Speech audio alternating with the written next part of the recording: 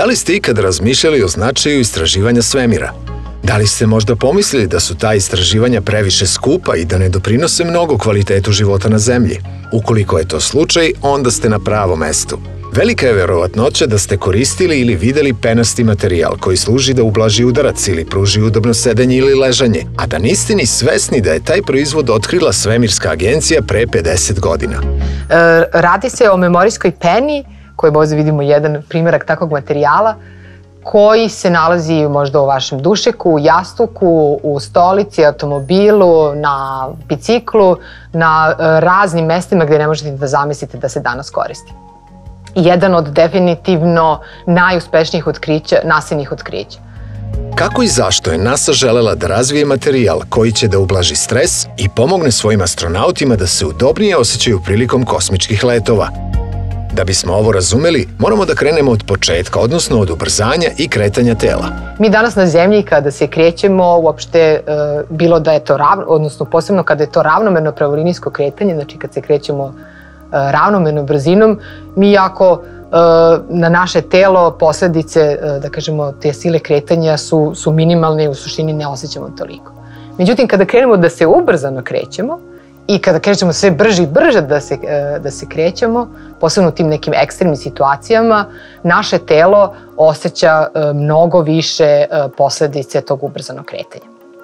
I danas, odnosno posle, da kažemo, razvoja opšte tehnologija koje su ne samo komercijalnih, na primjer, avioletova, već uopšte tih ekstremnih sportova kao što su Formula 1, trkački automobili i o, vojni letovi, pa i naravno kao najekstremniji letovi što su letovi u svemir, pojavila se potreba za e, korišćenjem materijala, odnosno raznih te tehnologija koje će pilotu, vozaču i uopšte ljudima koji, se, koji su izloženi uh, tim e, izuzetno velikim ubrzanjima da da kažem, ublaži te posledice kretanja jako velikih, odnosno posledice jako velikog ubrzanja. Konstantna brzina, kolika god da je, ne utiče na telo, ali ubrzanje i brze, odnosno nagle promene brzine, dovode do fizioloških promena koje ljudski organizam osjeća. Kada u nauci pričamo o ekstremnim ubrzanjima, koristimo nešto što se zove G sila, odnosno jedinice G sile – Danas kao neko konstantno ubrzanje koje je svuda poznato, koristimo ubrzanje zemljine sile teže, a to iznosi nešto malo manje od 10 metara u sekundi, odnosno tačno 9,80 na našim geoprostorima.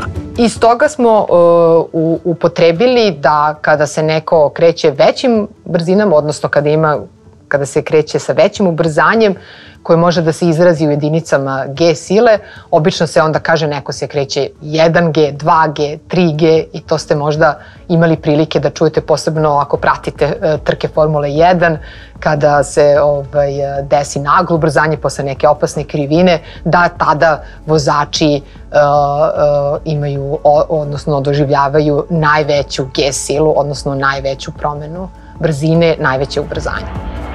Kada avion uzleće, dešava se najveće ubrzanje koje vi možete da osetite.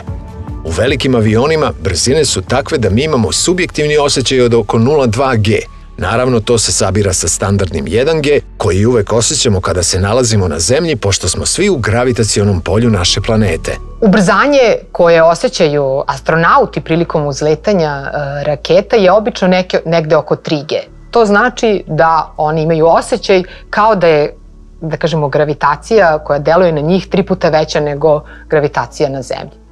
I ono što je pokazano jeste da e, reakcije ljudskog tela na tako velike na tako velika ubrzanja mogu biti zaista e, nepovoljne za, za, za, za organizam, čak u nekim ekstremnim slučajevima jako velikog ubrzanja e, može doći do raznih posledica kao što je može da se onesvesti pilot i slično. Naravno, oni, ti piloti i astronauti i tekako vežbaju u tim ekstremnim, uh, za tim ekstremnim uslovima jako velikog ubrzanja, gde je ubrzanje i nekoliko puta veće nego što je to ubrzanje sile zemljine teže. Inženjeri i tehničari na raznim vazduhoplovnim i svemirskim programima radili su na tome da astronautima i pilotima olakšaju uticaje jako velikog ubrzanja i tako se pojavila potreba za razvoje materijala koji bi omogućio pilotima da njihovo sedište bude tako postavljeno da postoji ravnomerni pritisak njihovog tela na to sedište. Jer šta se u stvari dešava kada vi imate jako veliko ubrzanje? Vi u stvari, vaša, vaša da kažemo, uh, uh, telo vrši mnogo veći pritisak na podlogu na kojoj se nalazi i to može da dovede do oštećenja, da kažemo, vašeg organizma, odnosno ne baš bukvalno oštećenja, ali vi osjećate razne pritisak koji je, da kažemo, neravnomeran na različite delove tela.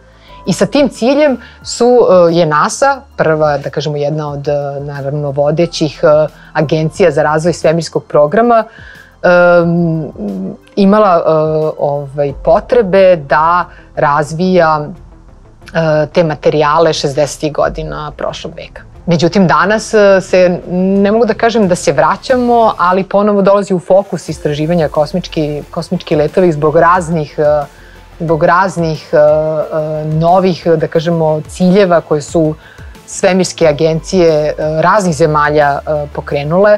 Počeši naravno od Amerike i Rusije kao nekih prvih e, sila koje su razvijale kosmički program. Danas mi imamo e, Kinu kao jako veliku e, kosmičku silu, tu je Indija, takođe ima ozbiljan svemirski program, Japan i na kraju Evropa takođe sa, svojim, sa svojom Evropskom svemirskom agencijom, i male zemlje takođe pokušavaju da razvijaju i doprinesu E, tim e, e, kosmičkim istraživanjima, čak i Srbija, videli ste vest pre neki dan, kreće u tom pravcu.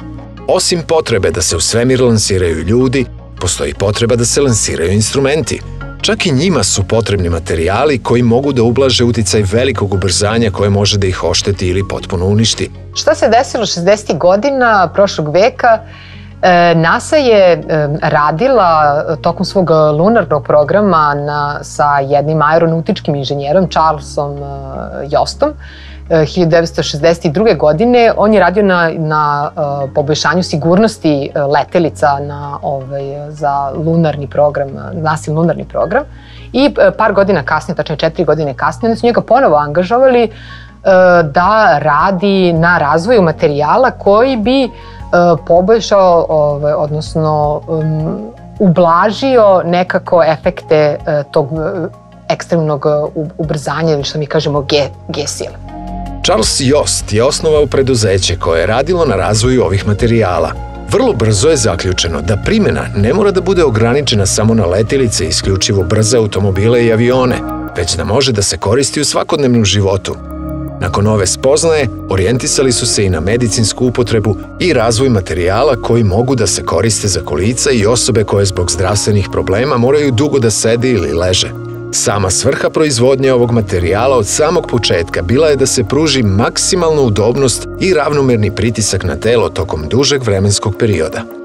I e, e, Charles Jost je e, izmislio taj materijal koji je u principu na bazi poliuretana, evo ovde možemo da vidimo jedan primer tog materijala, koji su oni tada zvali sporo izvoruća pena. Zašto? Zato što je cijela poenta bila kada vi pritisnete tu e, penu da se ona e, polako vraća u svoj originalni e, oblik. Zašto je to bilo važno? To je bilo važno da jednostavno pritisak koji ovaj materijal ostavlja na ljudsko telo, odnosno na telo astronauta, bude jednak, ravnomerno raspoređen i da taj materijal, da kažemo, zadržava svoju formu.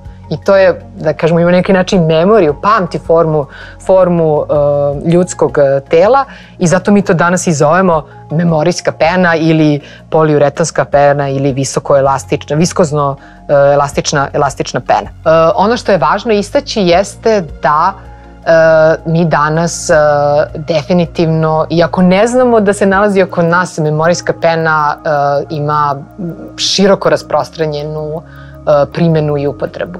Počevši da kažemo od e, medicine u raznim pomagalima e, do svakodnevnog života, jastuci, kreveti, prekrivači, sedišta, naravno ono što nam prvo da se vratimo opet na tu priču ekstremnog ubrzanja, e, svakako u motornim vozilima, formulama, piloti u, da kažemo, u, s druge strane u, u vojsci i tekako ima primenu za borbene, e, odnosno ne za borbene, nego za brze e, letarice i brze avione. Naravno, za nas, za svakodnevni život je i tekako važno da je se, da kažemo, proizvodnja te pene toliko razvila, budući da je našla primenu i komercijalizovala, našla je primenu u svakodnevnoj proizvodnji i upotrebi, da mi danas imamo krevete, odnosno ne krevete, nego dušice, dušike koji su napravljeni uh, od memorijske pene.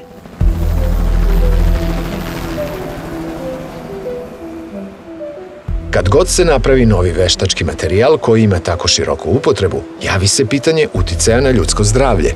U slučaju memorijske pene, radi se o visokoelastičnom poliuretanskom materijalu koji je veštački, ali kao i svaki poliuretan, nema apsolutno nikakvo štetno dejstvo po naše zdravlje.